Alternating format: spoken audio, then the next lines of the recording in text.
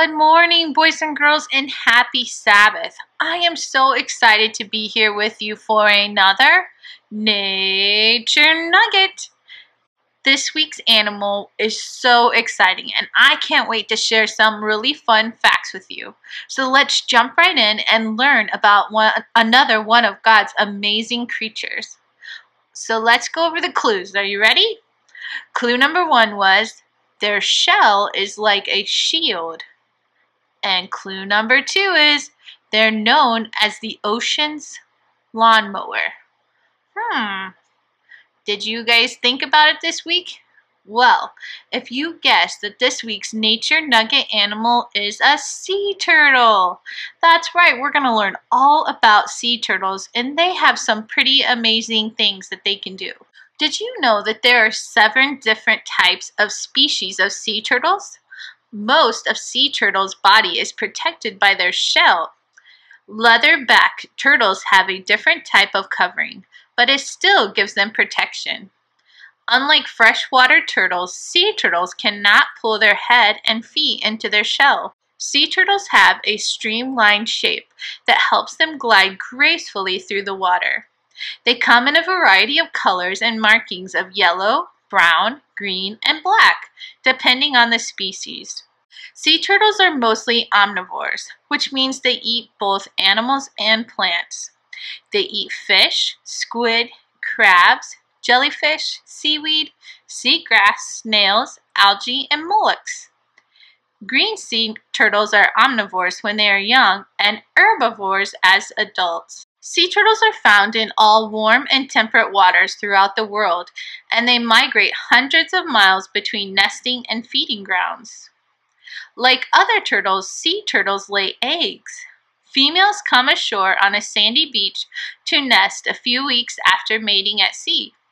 The adult female returns to the nesting site from which she hatched. The female will go ashore, usually at night. Though graceful in the water, adult sea turtles are so awkward and slow on land.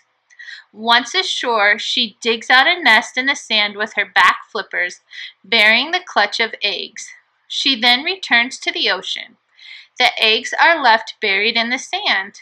Artificial lights from condominiums, houses, and hotels discourage females from nesting.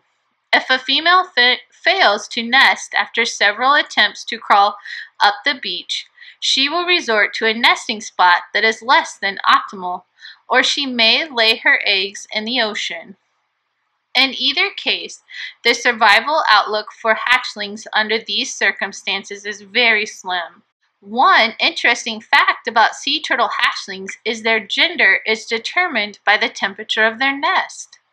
Temperatures below 85 degrees Fahrenheit produce male turtles, and temperatures above 85 degrees Fahrenheit will develop female turtles. A nest that has a temperature right in the middle will have a mix of female and male hatchlings. The hatchlings begin to pip or break out of their eggs using a small temporary tooth called a caruncle located on their snout. Hatchlings will remain in the nest for a number of days after emerging from the egg. During this time, they will absorb their yolk, which is attached to their abdomen. This yolk will provide them a much needed nutrients for their first few days while they make their way from the nest to offshore waters. When the hatchlings are ready to leave the nest, they emerge at night and move toward the ocean. This journey to the ocean is very difficult and dangerous. There are so many obstacles like driftwood and rocks that block the tiny reptile's path. There are many predators such as birds and raccoons which are waiting to get the little turtles as they head to the ocean. The tiny turtles use light from the ocean's horizon the white caps of the waters, and the slope of the beach to guide them towards the sea. This is why light coming from buildings and city lights can interfere with the hatchling's journey. Little turtles can get turned around and head in the wrong direction towards the artificial light. When this happens, it's called disorientation. Many hatchlings die each year due to disorientation. Hatchlings moving in the wrong direction can be eaten by a predator or hit by a car, or they may get lost and simply not make it to the water. If the hatchlings successfully make it to the ocean, they will begin to the swimming frenzy. They may swim frantically for several days in order to get themselves away from the dangerous nearshore waters where pred- predation is high. Scientists believe that the hatchlings imprint on the beach as they walk out into the water. This refers to their ability to remember which specific beach they hatched from and return to it as an adult sea turtle. Not much is known about how the little turtles live or where they go once they enter the sea. For this reason, this period is to be called the lost years. Recently, scientists have been able to put tracking devices on the hatchlings and have discovered that hatchlings head out to sea to avoid fish and sharks and other predators. Once off the continental shelf, many eventually end up in the current called the North Atlantic Gyre. Several years later, when they are about the size of a dinner plate, the turtles will return to living near the shore. Sea turtles are an important part of the marine ecosystem.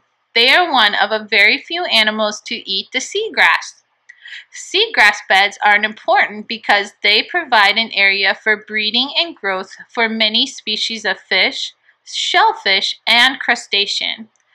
Sea turtles are constantly trimming the seagrass, and this stimulates the seagrass to grow.